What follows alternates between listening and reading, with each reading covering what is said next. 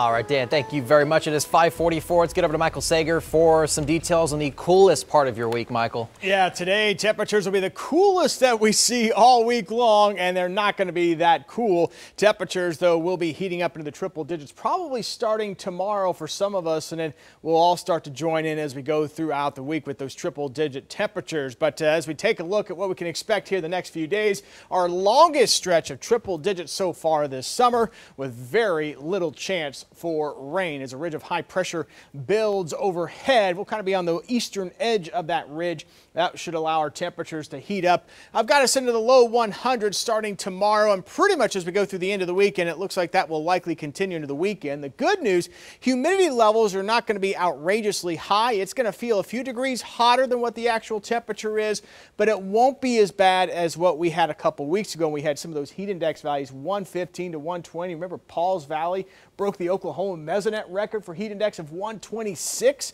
I don't think we're going to see anything like that but it is going to be a hot stretch. We're going to have to do what we can to stay cool and stay hydrated. Storm track is going to be well off to our north and west today and uh, also tomorrow and even as we go into the middle of the week. You can see the main severe threat is going to be well up into Nebraska, into the Dakotas tomorrow, into tomorrow night, and then it'll shift into parts of Illinois, Indiana as we head into Wednesday and Wednesday night. So we are well far away from that. Main storm track staying to our north with the jet stream up to the north and that ridge of high pressure dominating our weather, keeping very little chance for rain in the forecast. Maybe a sprinkle here or there for lucky as we head here a couple of mornings uh, throughout the week and maybe just a slight chance once we get into Saturday and Sunday.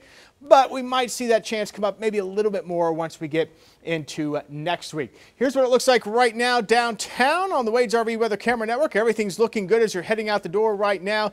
Temperature wise 77 in Tulsa with a south wind at about 11 miles per hour. Yesterday we were 93 for the high and I think we'll go a little bit hotter than that today.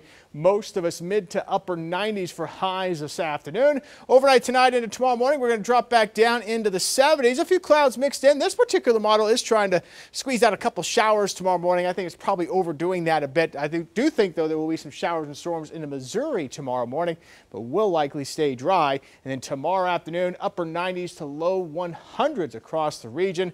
And here we go. Those triple digits, once they build in, they are going to hang around. We'll see temperatures uh, in that 101 to 102 range all the way into early next week. And we've got bookend 98s here on that 10-day forecast. So eight of the next 10 days, and those will be eight straight the way it's looking right now, uh, of triple digit temperatures. Overnight lows will be quite warm as well. Look forward to that. That looks great. It looks so nice. Not even a drop of rain in there. Yeah, and it, it is technically our hottest stretch. End of July and early August is our hottest time of year on average. Like if you break down the climatological average highs, 95, that's where we tend to peak. Again, it's you're not always average. You're up and down around that. Right. But uh, we are technically getting into our hottest time of the year. He's saying, don't be shocked. This you you knew this was coming.